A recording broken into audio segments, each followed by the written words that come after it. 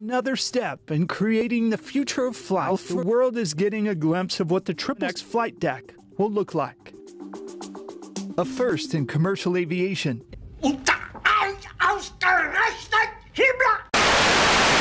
Innovative, large format, touchscreen. Cyberpunk 2077.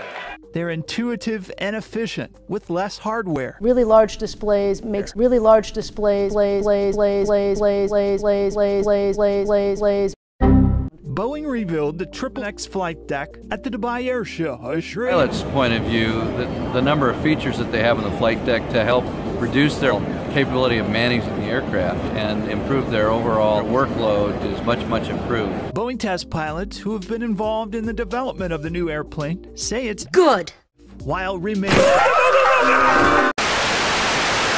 We took the best of uh, what each airplane, the 787 and the 777, had to offer.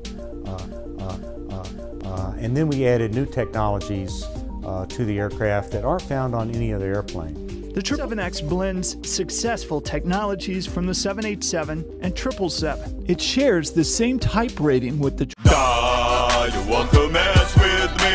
I spit bars when I'm these beats. Blow it up like Cuba while I'm falling in Cuba. When you use abu, in your love, my love, company will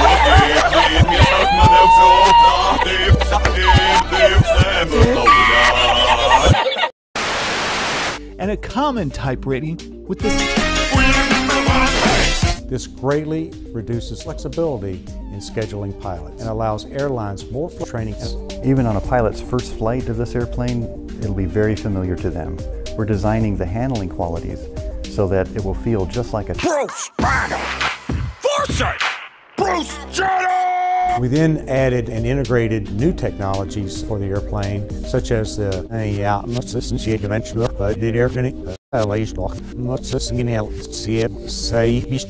I had all of these tools help approaches into runways when making a pilot and give options. It brings, you know, those technologies and safer flight deck, a safer operation.